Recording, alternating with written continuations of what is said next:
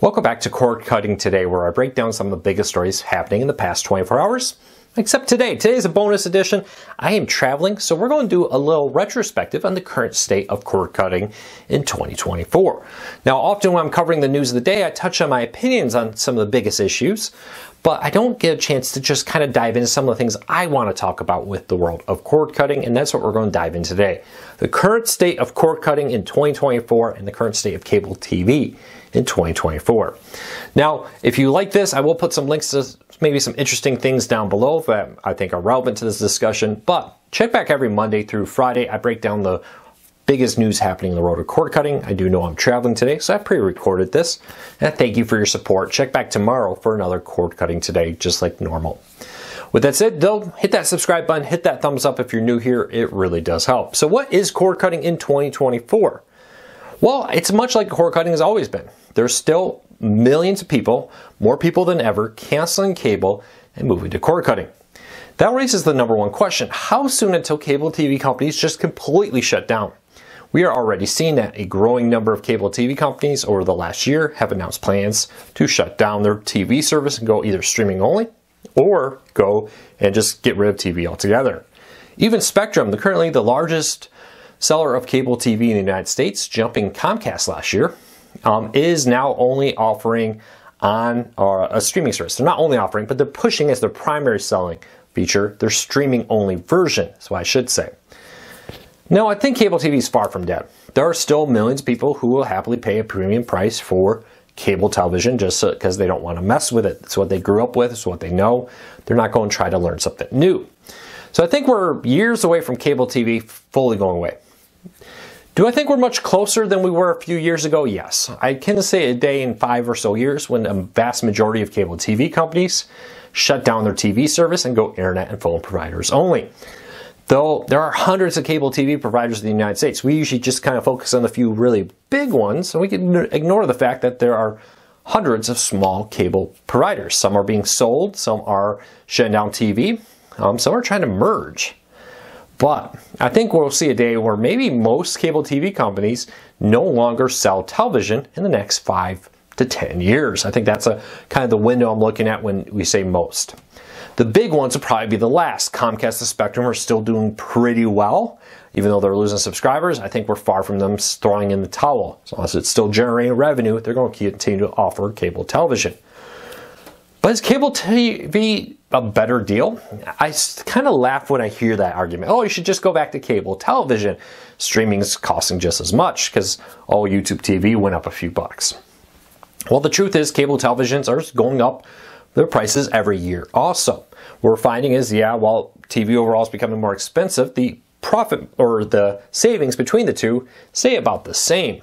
Uh, YouTube TV raises price and several other services last year. DirecTV and Spectrum raised prices twice last year. Many cable TV customers found their prices going up by $10 or more, um, where many cord cutters saw the prices go up about 5 bucks. What we are seeing though is the number of cord cutters coming back on how many streaming services they have. Before 2020, the average cord cutter had three to four paid streaming services on average when you looked at all cord cutters. During about 2021 when everything was going crazy, 2020, 2021 when most people were stuck at home, that number creeped up to be closer to six. Well, now we're seeing that number fall, and in our most recent study, the vast majority of cord cutters say they pay for four or fewer streaming services for video products. I think that's an important issue. You know, that's the nice thing about cord cutting. With cable television, I'm locked into a long term contract. With streaming, hey, I found, suddenly found myself trapped in the house for a long time. I will pay for some additional streaming. Uh, if you follow me, you know last year I had a, a shoulder surgery and I was uh, on rest for quite some time after that. Well, you better believe I watched a lot more television, made me willing for that one month to subscribe to some additional streaming services to catch up on some shows and movies that I've heard everybody talking about, but that I hadn't had time to watch. Once I was back up and going again, those subscriptions were canceled. And that will ultimately be the great thing about cord cutting is the ability to always be able to rotate content. And that's why I have to ask you, are you rotating content? How many streaming services do you subscribe to? In our polls, still overwhelmingly, when we talk to new cord cutters, they overwhelmingly tell us they canceled cable TV because of the cost and they were able to save money by switching to streaming by a lot. And enough to make it worth the hassle and trouble to disconnect, return your equipment, and switch to streaming. Recent conversation with a UPS store employee told me that they get dozens of cable TV boxes back every day at that one single um, UPS store. And they, they said that over half of their business was returns between like Amazon and other places nowadays. And I think that trend's going to continue overall, uh, increasingly overall in 2024. Uh, we see the future of um, streaming being online um, and uh, rotating of services.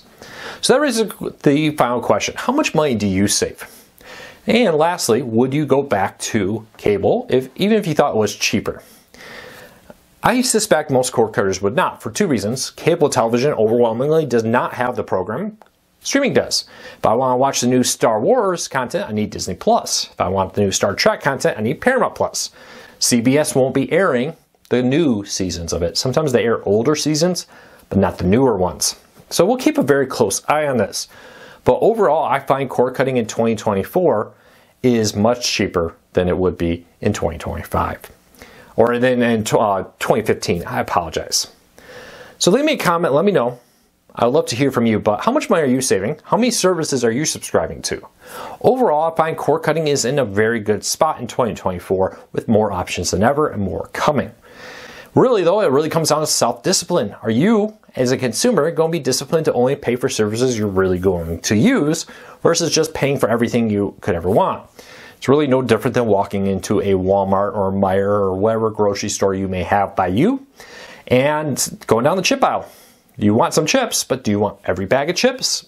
Probably not. You're just going to get one or two that you like. That's the same thing with streaming. Well, that's it for today. I hope you have a fantastic day. We'll be back again tomorrow with another video. Appreciate your support as I travel. I'll be back again real soon with another video of cord cutting today.